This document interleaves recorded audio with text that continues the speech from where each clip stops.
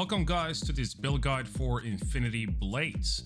We have a jam-packed agenda and I hope you are excited to see what is going on behind the scenes of this build. Before we dive in, let me caveat by saying the following. The highest area I have cleared as of making this video is 187. I can push further, but I'm trying to farm a better weapon as well as some gear pieces. To push all the way to 217, I need better gear. It does not mean the build is not able to get there. With that out of the way, let's get started, and if you like what you see, please leave a like below, or even better, subscribe. It helps the channel out a ton. And with that, let's dive in. Let's look at some skills. Our main skill is Infinity Blades, and our main focus here is twofold add as much damage as possible, and increase our damage based off of number of ailments an enemy has. Key skills we pick are 3-dimensional scoring, cruel persistence, quantic charge distribution, material sinkhole, cosmic recursion, and wounds bleed eternal. For our element, we pick Shadow, which is the hallmark element for the build as a whole. Since ailments are important for the build, we are also using Thunderstrike, and this skill is spec'd into rend damage to allow us to also apply the rend dot, hence increasing our overall damage output due to picking rebuilding the Trinity. This gives us a flat damage buff as rend damage. I also picked knees hitting ground for the stun and having a cooldown on the skill fits nicely into the rotation of the build. The rest of the nodes do not matter. We have two meat shields in our chaos golems. They also apply a dot, which is nice, but we are mostly using these for increased survivability spec into all the health nodes and make sure you pick the node that transfers some of the damage you take to the golems. The last two skills are Avengers Auto Turret for Rage Dump and some Ailment Score Chance with Aether damage and Bulwark of Dawn for Sacred Ailment Stack proc chance, but more importantly, survivability. Guys, that wraps up the skills. Let's look at the passive tree before we wrap it all up with gear and some thoughts about playstyle. As mentioned earlier, this build centers heavily around applying ailments to the enemy to boost our Infinity Blade damage. The more ailments, the happier we are.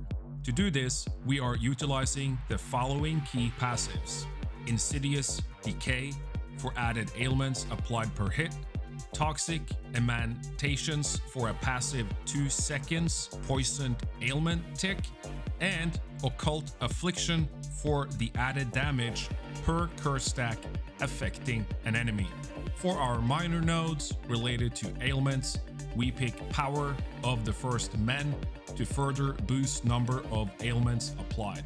To help boost our flat damage, we are picking Undertaker Pick up that green orb for a flat toxic damage increase. Bestial Frenzy, more enemies around you equals more damage. Merciless Lethality for added crit multi. Immortal Offering for extra damage added when killing an enemy affected by ailments. The Wild Card for more crit chance. And Clandestine Execution for bossing or that annoying tanky mob that remains after you wipe out a pack. Some filler nodes to be aware of related to damage are these here in the Dusk Glaive area, as well as the crit nodes in Alastor. Infinity Blade scales off of your weapon attack speed, so we want to add a bit juice to our attack speed. That's why we pick Intravenous Neural Cord and some small filler attack speed passives to boost our attack speed. Feast of the Crows, it's on the path, I took it, not sure if it does much for the build, feel free to skip this point to save one passive.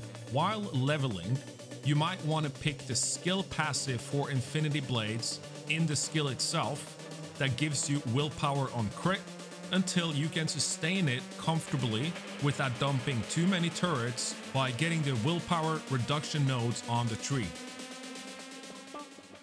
When it comes to attributes, I leveled by dumping all my points in a 50-50 ratio between ferocity and agility.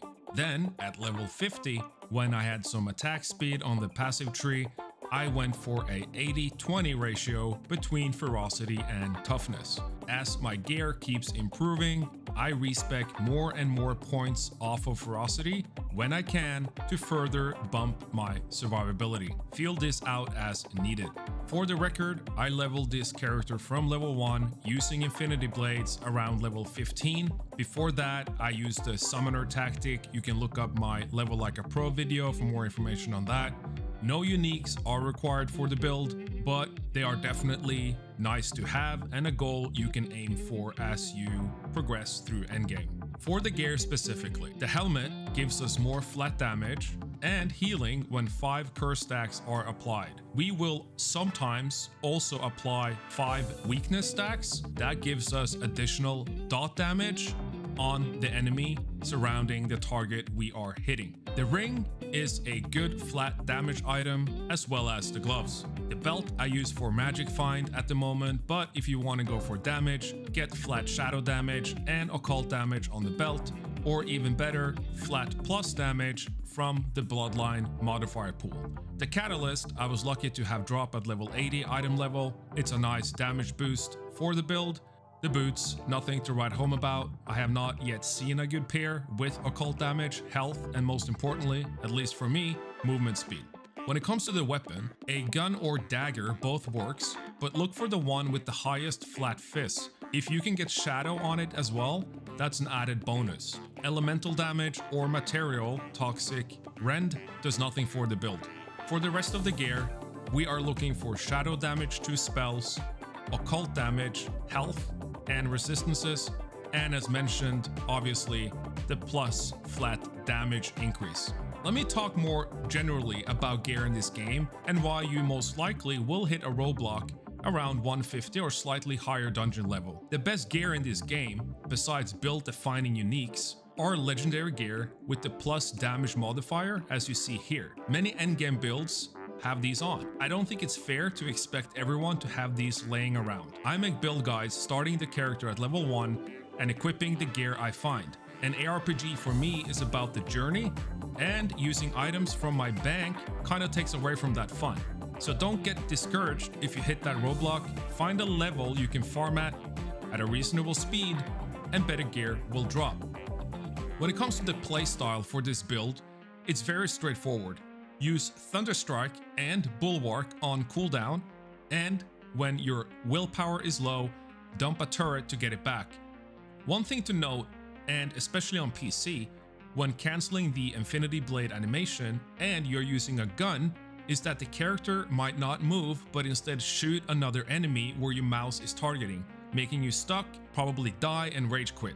I found it better to use the skill on a keyboard key versus my mouse. I felt I had much better control over my positioning with this setup.